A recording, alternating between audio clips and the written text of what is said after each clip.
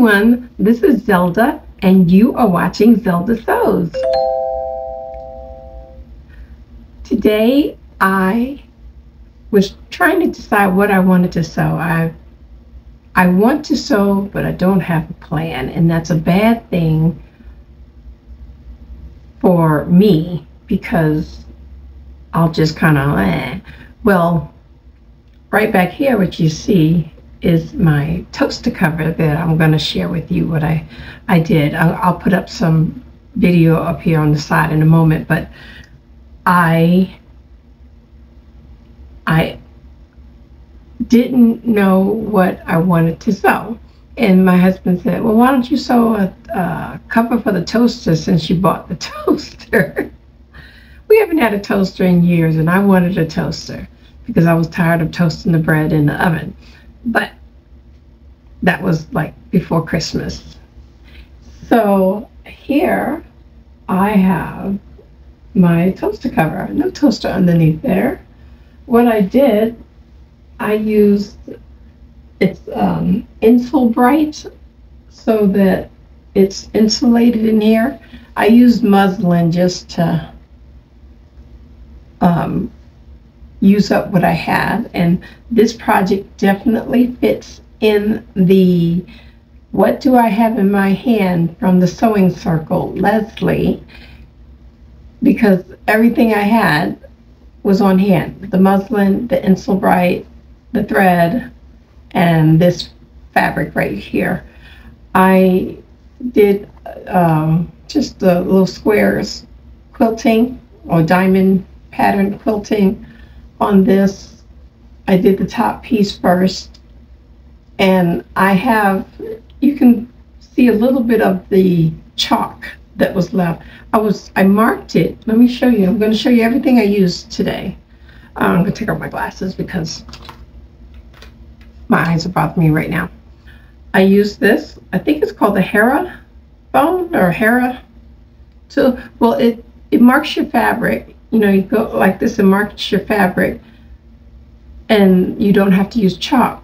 Well, this morning it was freezing. It was minus two, um, actual minus 24 wind chill. But the sun was shining so brightly and I couldn't see the markings on my back on this. Oops. I couldn't see the markings on here. So I ended up using my chalk. I like this one. It comes off easy and this, if, if it doesn't come off, I can just throw it in the washing machine. But I just use the, the white chalk. I, I love this. This was a suggestion from a friend of mine to try it and I actually like it. I, I tried the little chalk wheel that didn't work very well. Also, let me talk about another thing that didn't work well. I'm, going, I'm coming back to this. Well, it could be user error. Laura, and I can't think of her channel right now, put, she bought this shear sharp to sharpen her scissors well, I went to go sharpen these scissors and actually I think I made them more dull.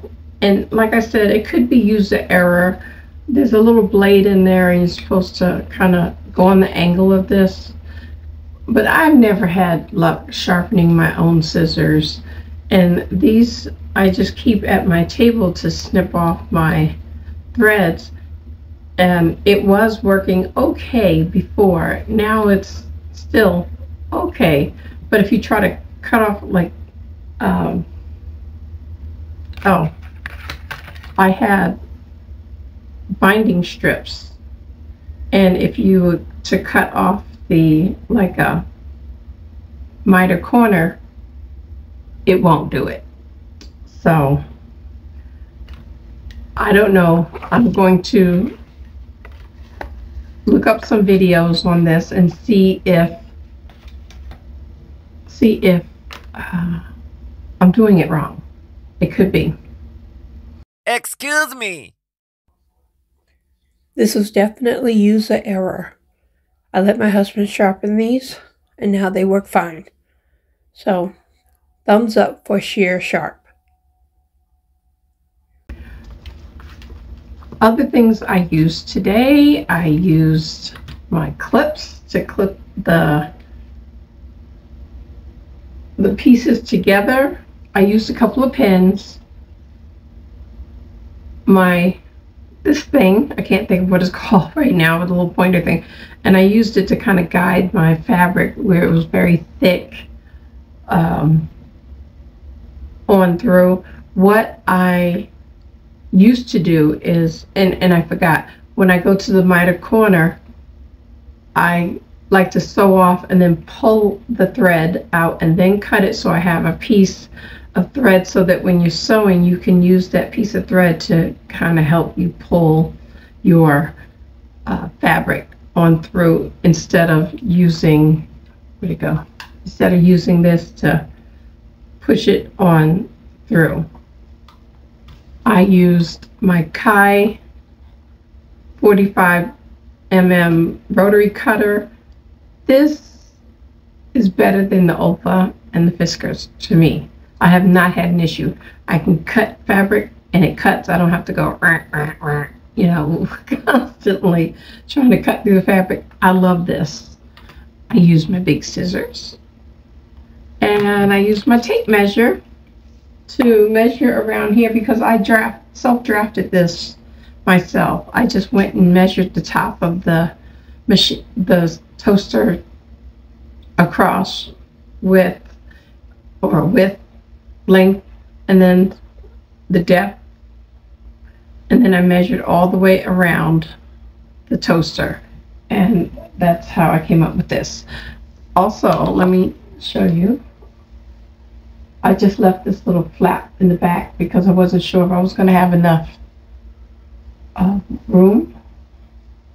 I just left the, the flap it's just a little overlap, just a little bit. And so it just, I, I have it toward the back because it lines up perfectly in the front. It goes right to the top of the counter. I'll show you um, a picture in here if I haven't. Uh, I'll do that. But this was a nice project to just get started. I'm happy I did it. Oh, thank you to Dianne from Beyond the Sewing Room for showing her sewing journal. I started mine just so that I can get started. I didn't want to just wait. I used my composition notebook. I may make a little cover for it, but I, I'm just more doing the journaling piece so instead of, I, I like Dianne, she put the pictures of her garments that she made. I think when I get to that point, I will do that because this, that first uh, piece of fabric, I did finish the dress. I have a picture. It's just that I have to pull out my printer in order to get the pictures. that is just a little bit of annoying to do that right away. But anyway, uh, let me see. Do I have? I think I've showed you everything that I used. The friction pen. This was uh, a suggest a tip that Jen from Today in Jen's Sewing Room talked about that she uses to write in her bullet journal. And I have a bullet journal, and I think I'm going to pull that out because I do like that. I like the dotted paper that I have in there. I, I have some lined. Uh, I'm, it's okay. I, I do like it sometimes, but I like the dotted and I like the blank sheets so that I can do what I want. But she said she used friction pens. The only thing is I can't find other friction pens that other than black. If anyone has a suggestion on the different colors that they may have, I would love I would love to the the feedback on that. That would be great. Well, I think I showed you everything. Oh, I did use my, I keep my little clips in here. I might have showed you that already, but I did use the clips to hold my pattern together. So I think that is everything and you're not getting away without a scripture. Just a quick one. This is from Psalm 147 3. He healeth the broken in heart and bindeth up their wounds. I'm so thankful to God that He healeth the brokenhearted. I was so distraught when my husband got sicker and I I was getting better, but I was then I got sick. And it was tearing me apart to see him so ill and I'm thankful to God that he heals the brokenhearted. I was so brokenhearted and he bindeth up our wounds. He is amazing. He's awesome. All right, guys, I will see you in the comments and you will see me on my next upload. Bye for now.